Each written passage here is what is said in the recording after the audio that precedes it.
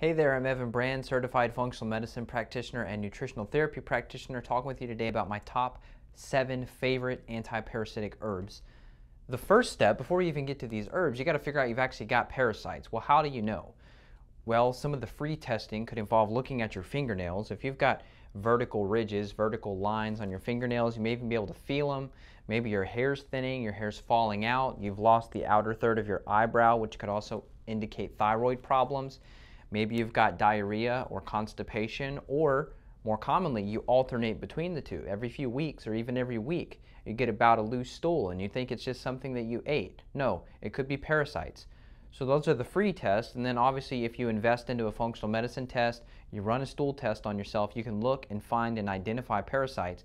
Once you do that, then you're ready to enter this conversation. Now, berberine is the active component, but that can actually come from Oregon grape or barberry. So if you're looking on a health food store's shelf or you're looking on the internet, you may want to end up looking up Oregon grape or barberry if you have trouble finding just a straight berberine extract. Number two is going to be black walnut. Now, these are unique in the fact that some of these can actually kill bacteria and yeast and fungus too.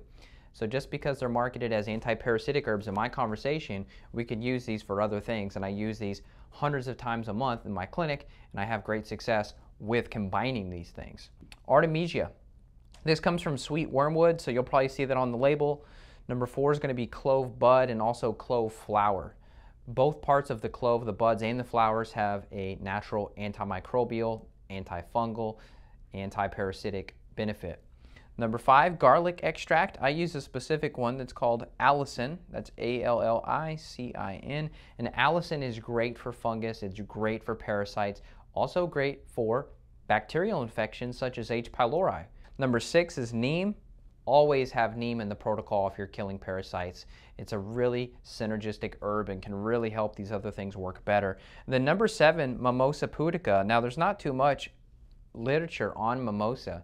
This is a new formula that's come out to the market. It's a plant and this plant is great for acting as a binder, so to speak, to pull things out of the intestines. I have more pictures than I would like to have in my inbox from clients of mine that have started taking this mimosa with my direction and all of a sudden they're pooping out worms. I'm talking one, two, five, even 10 inch worms, no joke, that were not found on a stool test, but they still had them in their body. The mimosa is pulling them out. Now, how would you approach this?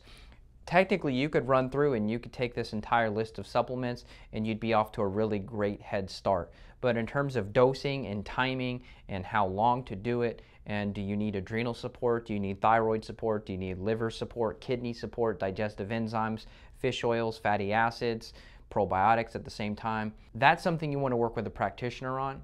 I'm going to stay focused on this conversation, which is this is how you're going to get rid of parasites. So I hope that was helpful. If you would like help, you can click on screen. Be happy to do a phone consult with you. Take care. Bye-bye.